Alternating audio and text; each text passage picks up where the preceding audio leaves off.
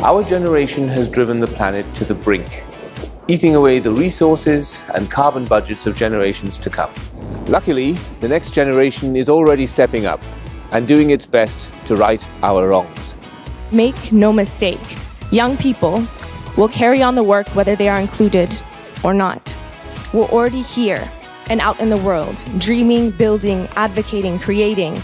We're not going to stand and wait for a seat at the table.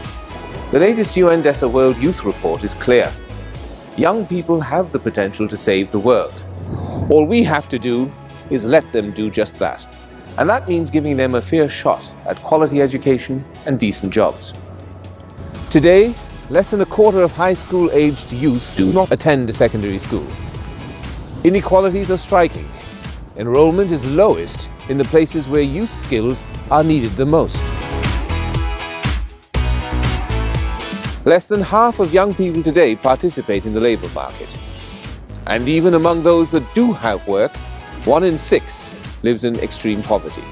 Child marriage is still depriving many young women of a chance to build a better life for themselves and their countries. These numbers are unacceptably high, and changing them should be our foremost priority. The World Youth Report shows what young people are capable of if only given the opportunity. Let us not squander their potential. Investing in Youth 2030 is investing in our common future.